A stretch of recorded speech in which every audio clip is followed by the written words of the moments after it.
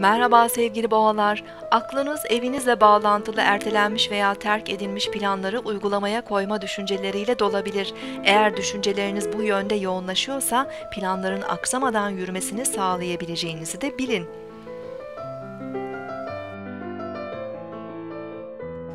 Bugün 23 Ağustos 2014 Cumartesi, Satürn günündeyiz. Aslan burcunda ilerleyen ay güne sosyal, yaratıcı ve canlı enerjiler veriyor. Bugün kabuğumuzdan çıkıp kalabalık arasında olmak isteyebiliriz.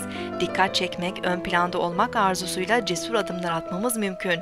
Öğle saatlerinde ay Jüpiter'le kavuştuğunda iyimser enerjilerde yoğunlaşabilir. Sosyal organizasyonlar, partiler, davetler, sanatsal etkinlikler için uygun bir gündeyiz. Çocuklarla ilgili kavram programlarda bugün bize keyif verebilir. Güneş bugün Başak Burcu'na geçecek. Önümüzdeki dönemde iş, çalışma, hizmet, eğitim, günlük rutinler, beslenme, sağlık ve benzeri konular günlük yaşamımızda ön plana çıkmaya başlayabilir.